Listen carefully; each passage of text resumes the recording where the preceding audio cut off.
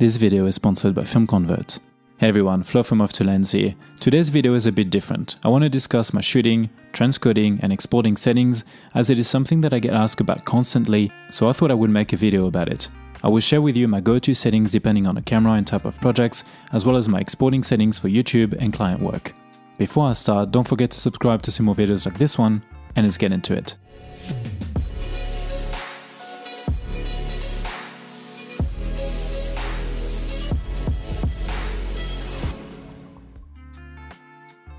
As you know, over the past 10 years or so, I have been sharing my work online and I always get asked about what resolution or ISO I was shooting at, what compression I use when filming in RAW, or how do I export my videos for YouTube or clients. This video can be seen as a starting point if you just got your BMPCC camera or your first camera, but also a sort of guideline for exporting and posting on YouTube and delivering to client based on my experience. As this subject is quite broad, I am going to split this video in three main parts with each their own smaller sections to make it easy for you to understand and watch. My main cameras are the BMPCC 6K and the 6K Pro, and one thing to mention is that both these can shoot B-RAW internally, which can of course have an impact on your settings. This means that for example, the white balance and ISO can be adjusted in post. Now let's get into my go-to settings that I use for my documentary and travel work.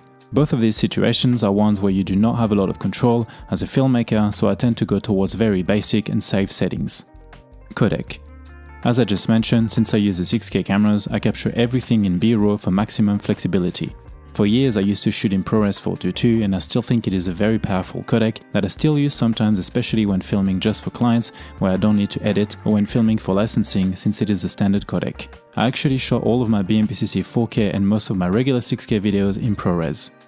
If you don't have either of these codecs in your camera, always go for the most data that you can get as long as you have the storage and computer power. Compression. One thing that I get asked a lot about is what compression I use for B-RAW. I use 12 to 1 for pretty much everything. In my opinion, it is more than enough and unless you do VFX work or heavy grading or what you are filming requires maximum quality, then it is fine. To give you an idea, I shot all of my Antarctica footage in UHD ProRes LT just to save space and it was great. 12 to 1 keeps the file relatively light as well. Log. I shoot in log and always have since my first BMPCC and even when I was filming with my old Canon 5D Mark III. Log gives you the most flexibility in post and the most range out of your image. It is harder to grade of course, but once you get used to it, it makes for a superior image. If you are just starting out as a filmmaker, make sure to get a camera with a log option. Resolution. As I shoot in B-RAW, I film in full 6K resolution. This gives me the most details and also a better 4K image when downscaled. I used to film in UHD when I had my BMPCC 4K and it was more than fine too. More resolution doesn't always mean better, but I do shoot in 6K now for all of my content. ISO.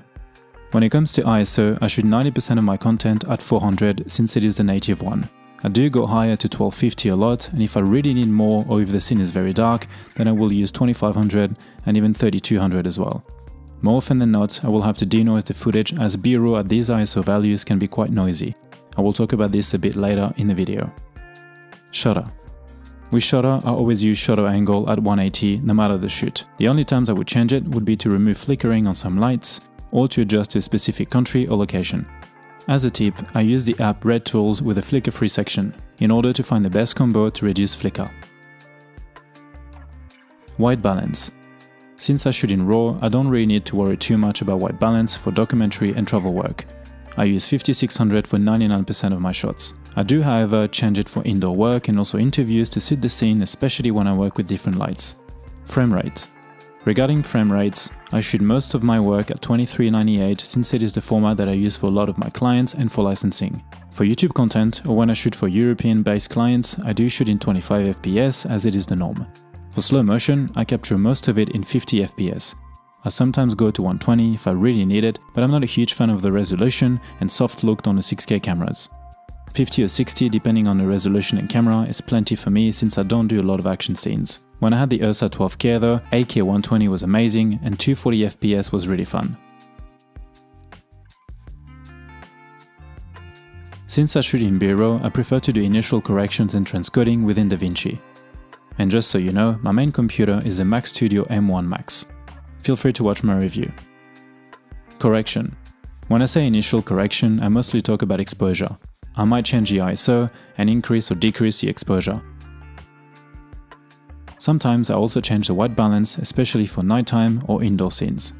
And as I said before, I also denoise my shots and usually I do it in 5 frames, better, and the luma value sits around 8 to 15 depending on the shots.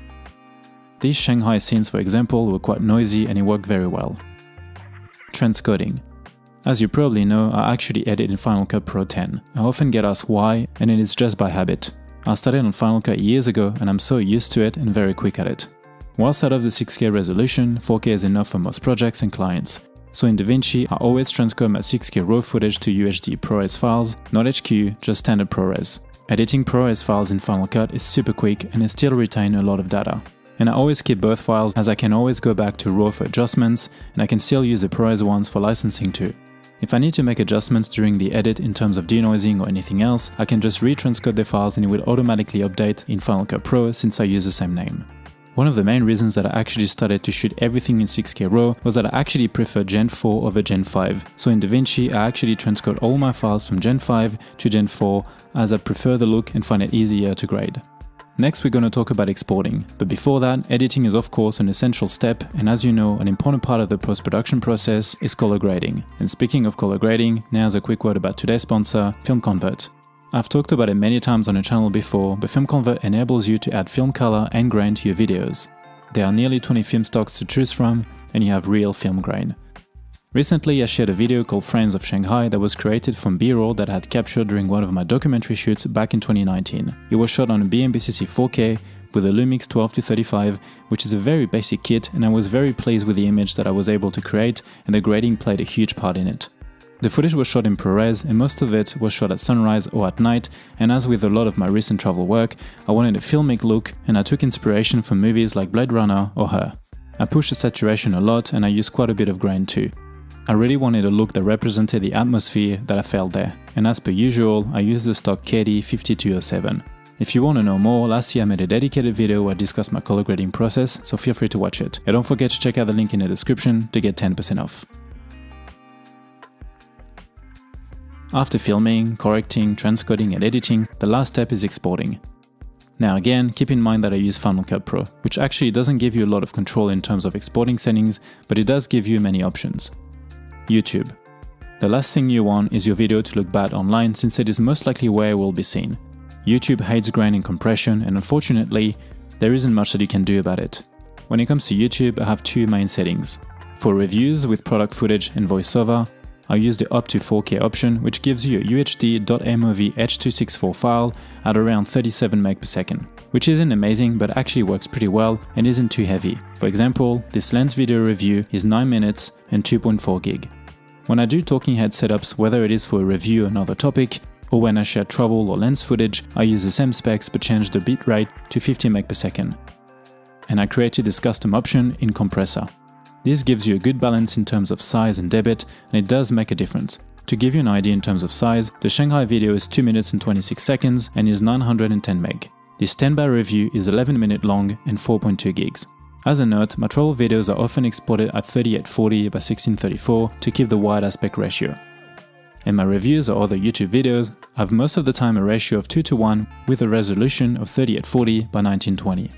I do have a third option when I do very long videos around 20 minutes or more, which is actually another custom setting where the debit is set to 20 MB per second to reduce the file size.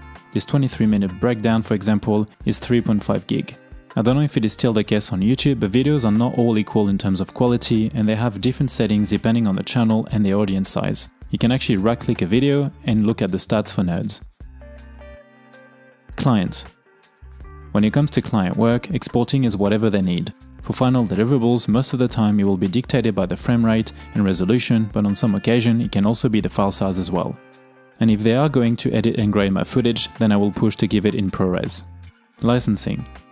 With licensing, the default codec is ProRes 422, so I send all my files in that format and most of the time in UHD, both in log and graded. If you're interested in footage licensing, I actually made a video about it, so feel free to check it out. That's it for me for today guys, hopefully you found this video helpful and if you did, please give it a like, don't forget to subscribe and let me know if you have any questions. As always, thanks for watching and I'll see you in the next one. Bye. Also, feel free to check out my two ebooks, Freelance Documentary Filmmaking and Travel Cinematography, where you can find a streamlined but comprehensive overview from pre-production all the way to marketing, built on years of my own experience shooting short documentaries and travel videos around the world. And if you are interested, I'm also doing filmmaking mentoring sessions when you can ask me anything about a wide variety of topics.